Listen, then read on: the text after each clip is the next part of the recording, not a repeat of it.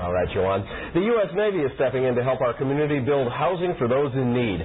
All hands from the USS Gridley were on deck today to help Habitat for Humanity. The goal is to build 12 homes in 12 days in the area of Northwest 69th Street and 21st Court. They call it the Blitz Build.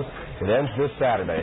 That's the same day the Gridley will, will formally be commissioned. It'll be the first warship commissioned right here in Miami. And Joy Purdy has personal experience with the crew. You've been on that boat. It's yeah, we spent 24 hours on board, and we got to meet a bunch of uh, sailors from South Florida, and we're going to have more on them later in the week, tomorrow, Friday.